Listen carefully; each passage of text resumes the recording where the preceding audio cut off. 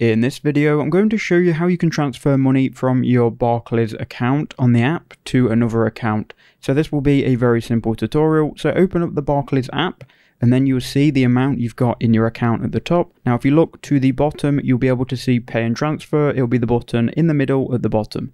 Go ahead and click on pay and transfer and it will take you to this window.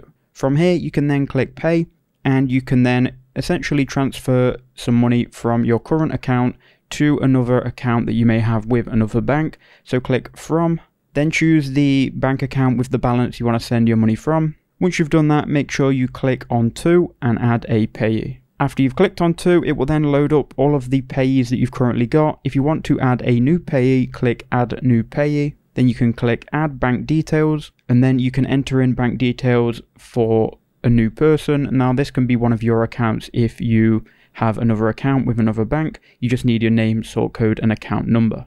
So go ahead and add your other bank or select the payee if it's already there. Then you just need to enter in an amount and a reference. So I'll just enter in £10 and I'll put the reference as transfer. We can then click review payment. Then confirm that payment, make sure everything is correct. And just like that, we've sent the money and it will appear pretty much almost instantly. So that's how you need to do it.